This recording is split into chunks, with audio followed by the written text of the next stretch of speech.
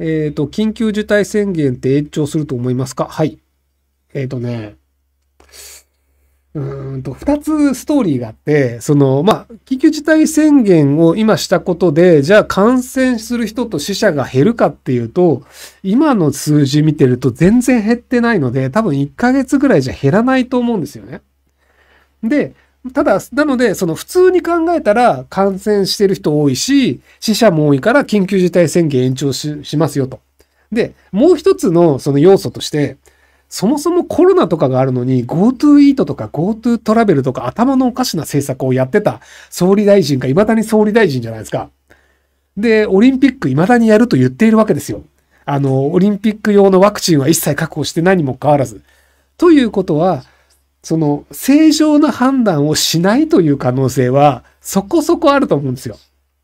で、あの、2月のあの中旬ぐらいから緊急事態宣言終わるってことになってるんですけど、だいたい2月の中旬ぐらいに、あの、中国が春節っていうあの旧正月の祭りが始まって、で、世界中に観光客が行ってお金を使うんじゃないかと言われているんですよ。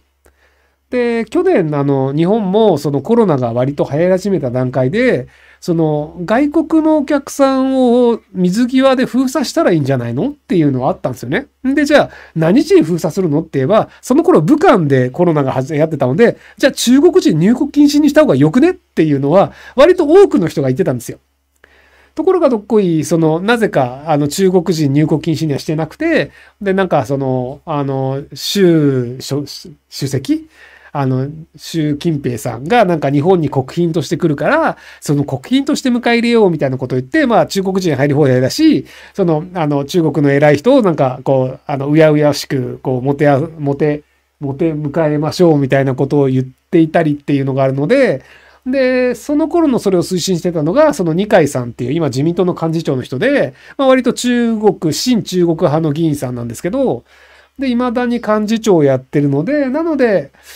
えっ、と、あ、その医療と日本人の死者を減らすというのを前提にすれば緊急事態宣言延長するんですけど、その中国のお金欲しいよねとか、中国と仲良くしたいよねっていうところをメインにするのであれば、緊急事態宣言はそこで終わるんじゃないかなと思うので、そこら辺でこう自民党の支持率がどれくらい下がるかわかるんじゃないかなと思ってます。